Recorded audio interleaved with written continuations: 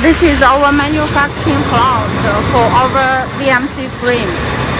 We have right now uh, two lines, uh, including around 15 gouge milling machine, two gouge boring machine, and grinding machine.